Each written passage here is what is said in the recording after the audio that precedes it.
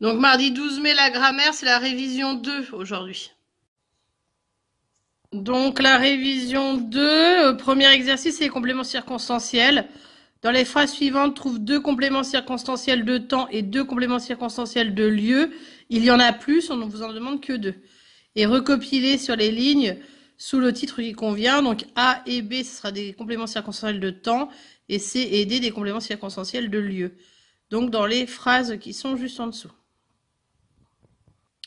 Ensuite, vous avez la lecture de compréhension. Lis attentivement le texte suivant et réponds aux questions posées. Ce texte est extrait d'une nouvelle qui, présente les chiens qui ont tenu une grande place dans la vie d'une famille. Ce passage décrit le chien Beffer. Donc, vous le lisez et vous allez faire les petites questions qui sont en dessous. Pour ça, vous essayez de vous chronométrer 15 minutes. Et comme pour le miracle des choux, bien sûr, j'ai pas le droit de vous aider. Donc, les questions, c'est celle-ci. Donc 15 minutes pour faire ça.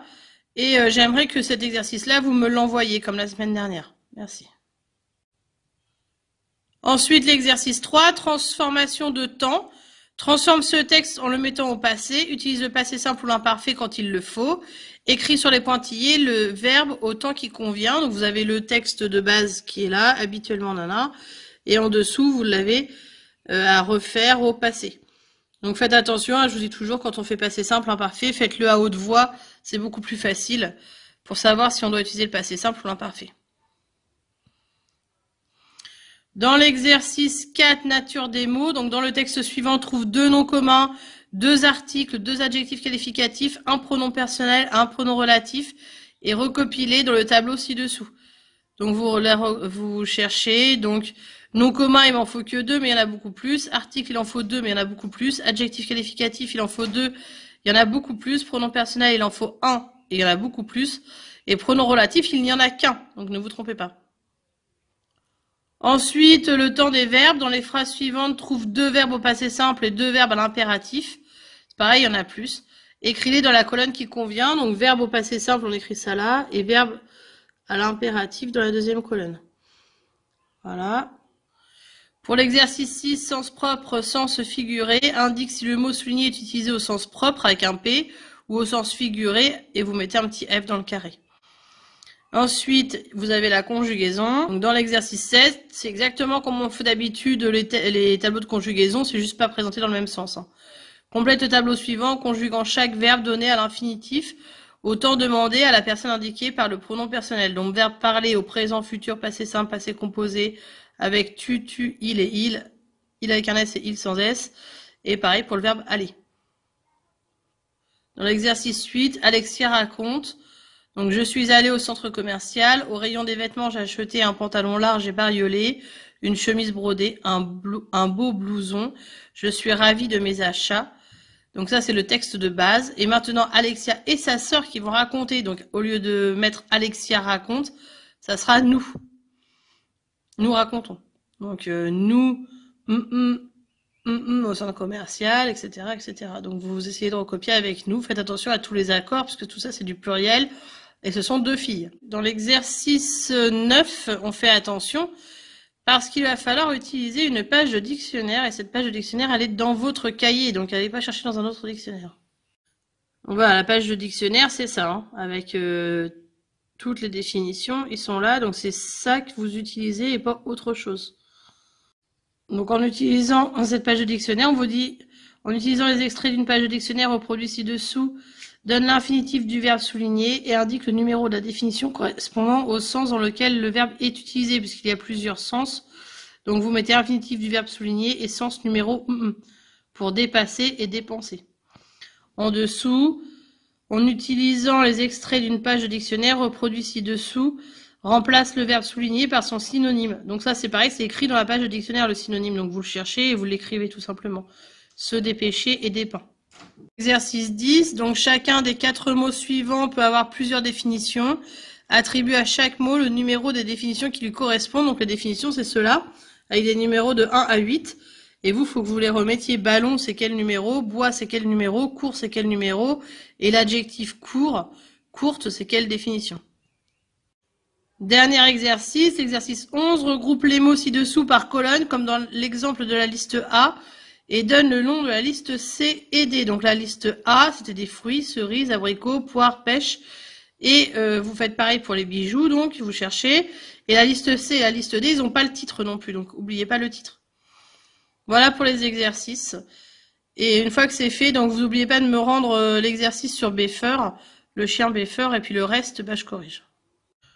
Donc en complément circonstanciel de temps, depuis plusieurs heures, dans la poche trouée du manteau se trouvait un billet de 10 roubles. Doucia et Olga arrivèrent à un tournant et s'arrêtèrent avant de traverser la route. Les fillettes avaient posé les choux sur la table, elles s'étaient assises sur une chaise et attendirent pendant de longues minutes sans se déshabiller. Donc il y avait trois compléments circonstanciels de temps, nous on ne vous en demandait que deux, depuis plusieurs heures, avant de traverser la route et pendant de longues minutes. Et en complément circonstanciel de lieu, pareil on vous en demandait deux, mais il y en avait quatre dans la poche trouée du manteau, à un tournant, sur la table, sur une chaise. Cet exercice, vous aviez 15 minutes pour le faire. Beffer, c'était plus qu'un chien, une personne. Quand il nous voyait dans la peine, les uns ou les autres, il était plus malheureux que nous. Il s'en, venait nous lécher les mains et il nous regardait avec des yeux tristes. Si quelqu'un pleurait, il pleurait aussi, en geignant avec une toute petite voix de misère. Je me rappelle, et ça combien de fois je l'ai vu, quand Hector envoyait un des enfants au coin pour le punir, Beffer allait s'y mettre aussi, il restait là jusqu'à la fin de la punition. Des bêtes comme celle-là, je dis qu'il en faudrait beaucoup pour apprendre aux gens à aimer. Et comme berger, passons pareil. Quand venait la saison de mettre les vaches aux communaux, donc les communaux, c'était marqué, c'était des terrains qui appartiennent à la commune. On les conduisait avec lui une fois, et après il n'avait plus besoin de personne ni pour les emmener ni pour les garder. Sur les chemins, il les tenait bien rassemblés, et s'il arrivait une voiture, il avait tôt fait de les ranger sur le bord, tranquillement, sans bruit, sans se presser.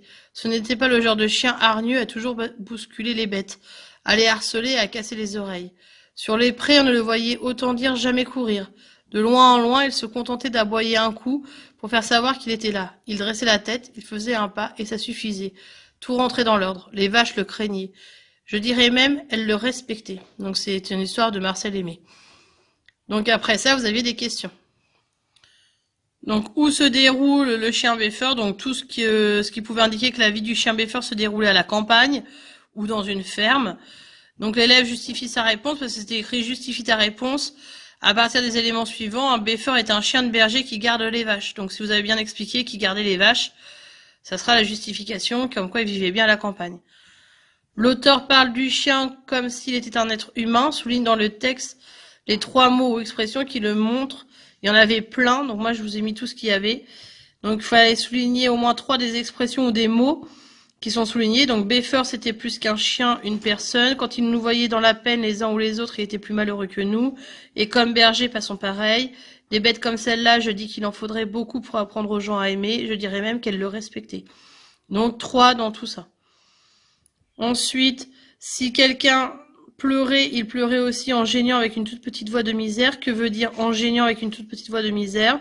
Donc tout ce que vous pouvez avoir indiqué en disant que le chien est gémissait, se plaignait, pleurnichait, chouinait, avec une toute petite voix faible, plaintif. Il pleurait en fait, hein, il faisait le chien, voilà. Recopier une phrase du texte qui montre que le chien sait se faire obéir des vaches. Donc là c'est pareil, il y en avait beaucoup. L'élève a recopié une des phrases suivantes, donc il les tenait bien rassemblées, il avait au fait de ranger sur le beurre.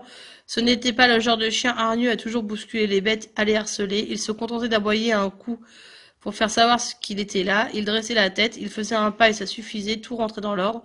Les vaches le craignaient, elles le respectaient. Donc n'importe quelle phrase ici sera bonne. Ensuite, voici trois affirmations pour qualifier le chien Beffer. C'est un chien affectueux, c'est un chien malheureux, c'est un chien qui a beaucoup de qualités. Choisis celle qui te paraît le plus juste en t'aidant du texte, explique ton choix. Donc deux réponses possibles, où on a choisi affectueux, c'est un chien affectueux, il a bien argumenté, donc on a bien argumenté, on a dit que c'était un chien qui partageait les émotions des personnes avec qui il vit, qu'il manifeste sa compréhension et son empathie, notamment envers les enfants lorsqu'ils sont punis. Donc, euh, que c'est un chien qui est euh, très proche des humains. Ensuite, l'élève indique que Beffer est un chien qui a beaucoup de qualités. C'était bon aussi. Et pour ça, il fallait bien argumenter, dire que c'était un chien très attentif aux personnes qui l'entouraient, notamment les enfants. C'est un remarquable chien de berger qui sait conduire les bêtes et s'en faire obéir. Les aspects formels de la rédaction sont globalement respectés. euh, aussi, puisque moi, euh, si je l'avais, euh, enfin quand je vais corriger, je vais vérifier que vous n'avez pas fait trop de fautes d'orthographe, etc. Ensuite, parmi les titres proposés ci-dessous, entoure celui qui convient. Donc c'est un berger cruel, un chien remarquable, la vie à la ferme, une triste vie de chien ou une bête ordinaire. Et bien sûr, c'était un chien remarquable qu'il fallait donc retenir. Écrire au passé. Donc habituellement, les élèves se levaient à IENT quand un adulte entrait à IT en classe. Un jour, le directeur entra à pendant que Pierre et Mehdi discutaient à IENT. Ne faisant pas attention à lui, ils restèrent ou ils restaient. Les deux sont bons. Donc, accent aigu RENT ou AIENT.